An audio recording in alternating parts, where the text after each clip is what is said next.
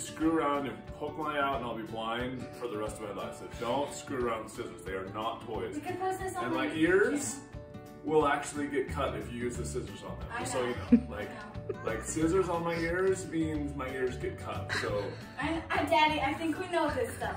okay, well, I'm just Wait, want to make Mom, sure. are you gonna video this? It started already. I was thinking that we Don't this cut dad's skin. channel. How about start cutting? Use your fingers. Remember to even it out, Adri. No, no, no, no, no, no, no. Think twice before you pull the scissors to close. So, like, my ears are right here. Yeah, I know. I And. Maybe- sometimes hidden in the hair, so don't just go. Yeah. Maybe even the top part out with the Just be cautious, because I'm giving both of you, I'm trusting both of you, so I expect you to use that trust carefully. So, but go ahead, go at it, dude. Okay, but don't Go cut ahead. it close to this his head. too tall?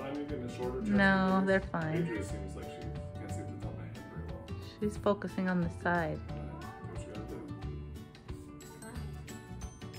You're good. Just drop it on the floor. Yes, let's go some big, go, go big. Oh my god.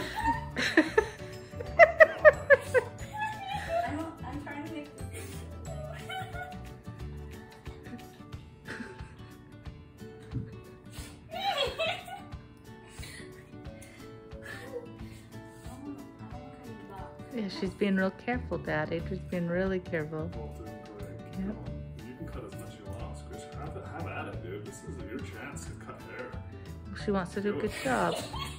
Just be, all I ask is just be super careful with my ears, please. I want to keep. Oh. I'm so sorry. Did you No, really? I accidentally pulled some of his hair.